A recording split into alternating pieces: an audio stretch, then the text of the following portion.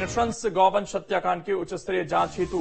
ये देखिए, उनकी तरफ़ से एक्स पर पोस्ट किया गया आपको हम बता रहे हैं। इसमें लिखते हैं कि AD DG CID Shri Pawan Srivastava एवं टीम घटनास्थल पर पहुँच रही है। पाँच आरोपियों को गिरफ़्तार कर दो आरोपियों पर एनएसए लगाया गया है। घटना में संलिप्त प्रत्येक आरोपी के खिलाफ सख्त कार्रवाई की जा रही है। मध्य प्रदेश में गौ माता खिलाफ कोई भी अपराध बर्दाश्त नहीं किया जाएगा, ये मुख्यमंत्री की तरफ़ से कहा गया। है वहीं केंद्रीय कृषि मंत्री शिवराज सिंह चौहान एक कार्यक्रम के दौरान कहते नज़र आए कि उन्हें कुछ साल तो लगेंगे, भूलने में कि वो मुख्यमंत्री नहीं, कृषि मंत्री हैं।